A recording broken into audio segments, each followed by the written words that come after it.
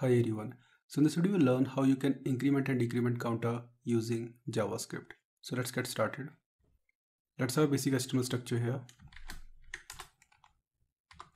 Link to a style sheet. Add the script file at the bottom which is script.js. We need one div element and two buttons here.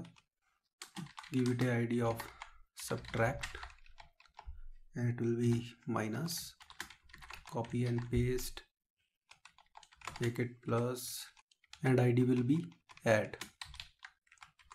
We need one input element. So type will be number. And value will be 0 now just save it. Go to style sheet.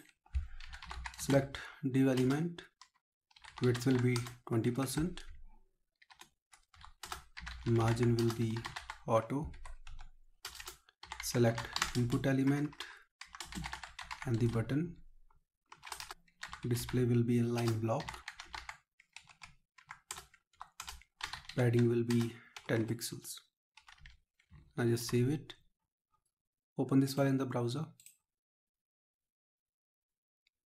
And this is the output. Now let's try to understand how to actually work on the click of this minus button, I want to decrement the value. On the click of this plus button, I want to increment the value. So let's go to JavaScript file and select these buttons and the input element. So let's make it btn add. We'll select it by ID, which is add. Just copy and paste it two times so make it subtract. We also select the input element. So let's make it input. Here it will be subtract.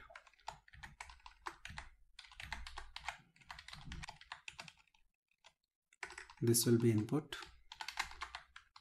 Let's add event listener to these buttons. Event will be click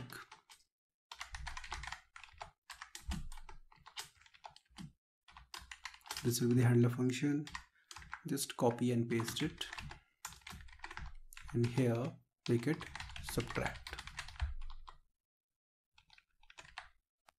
Now to increment the value first of all we'll get the value from this input element convert it into a integer and then we'll add 1 to it. So let's do it. So it will be input dot value equal to parse int we'll pass the current value and then we'll add 1 to it. Same goes here just copy and paste it and make it minus. Save it go to browser. Now when you will click plus button it will increment the counter.